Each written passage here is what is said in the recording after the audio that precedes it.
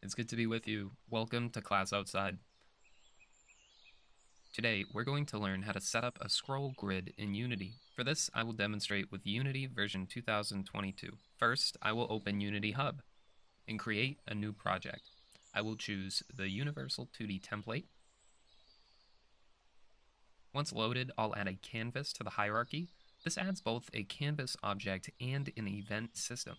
The event system allows us to touch and interact with objects on the canvas.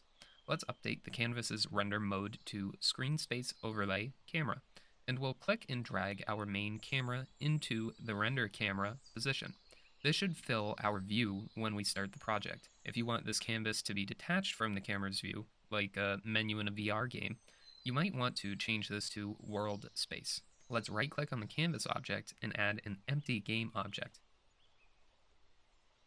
Name this scroll view.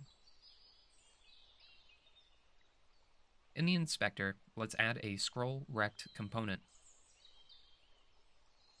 Then adjust the size and shape to your liking by using the editor's tools. Then let's add a graphic raycaster.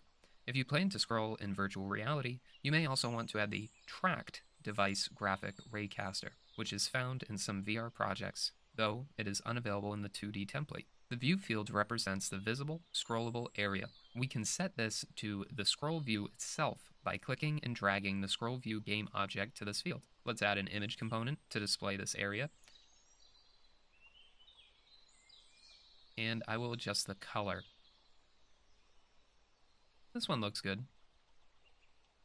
And we will add a mask component too, this will make sure that content should not be visible if the content is outside the boundaries of the scroll view. I'll quickly show this by creating a child image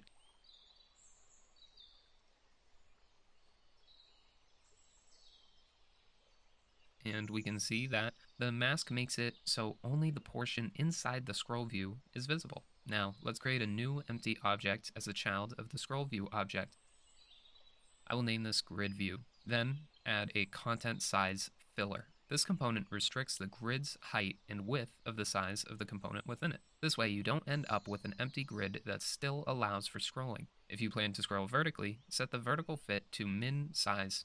A similar process would be required for a horizontal fit. Let's open the anchor position menu for the grid view and hold down Alt to alter the position of the object. This demonstration will focus on a vertical scroll. For this, we should select the top right stretch option. If you want to horizontally scroll, you may want to select the bottom left stretch option. For the top left, we will also need to adjust the pivot fields to be 0.5 and 1y. Then add a grid layout group component. To see the grid layout in effect, we need to add some items to the grid. Create a new image as a child of the grid view. We should see it appear in the top left. For some reason, the Unity editor may place the object slightly outside of the grid view. If we play the game, or reset any of the child object's fields, we should see it adjust to the correct position. Let's copy and paste to create a few of these objects.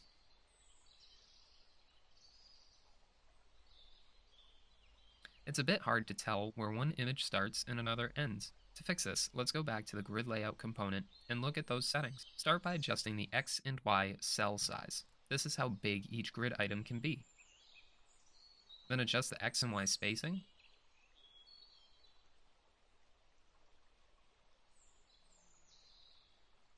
And to move them further away from the edges, we can open the padding dropdown and adjust there. We can also adjust the size of the cells from here. Let's increase the size until the cells overflow from the page. Great. Now we have some content to scroll through. Back in our scroll view object, let's click and drag our grid view into the scroll rect component's content field. If this moves your grid view, you may need to adjust its pivot values. And now, we should be ready to go. Let's press play. And look at that. Together, we have set up a scrollable grid in Unity. Please let me know down in the comments what you thought of this video. Have a great day, and thank you for attending class outside.